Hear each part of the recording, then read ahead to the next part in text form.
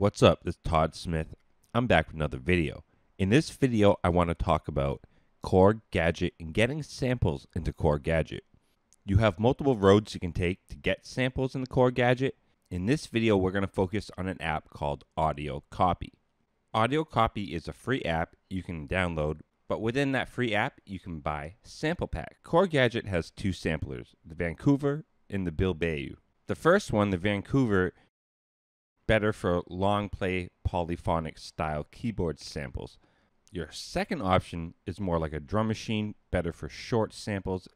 Now, how you load your samples from audio copy is very simple. You click right here in your preset, you go to your local, and these are the samples already brought in to my system. If I click this, I can actually change it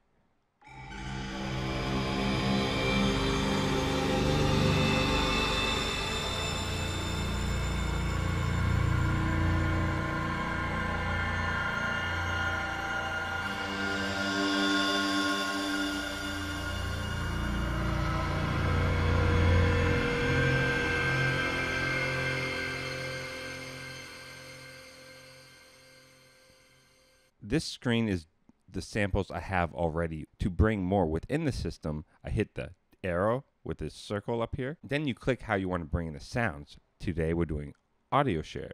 It loads up all the presets that you bought. You can choose the sample sounds.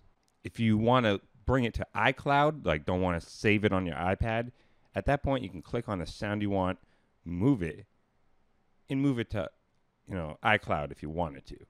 So now that I click that in, it's in the system. Boom, I click on it.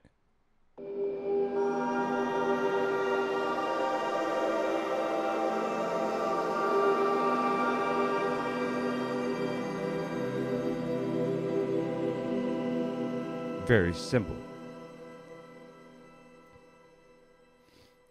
With the drum machine, it's very simple too. You click on the sample button right here and the method that you use to bring samples in is the same as the Vancouver. I'll be doing some more videos on the sampling with Engadget. Thank you very much for watching this video. As always, I need to thank the viewers and patrons of this channel.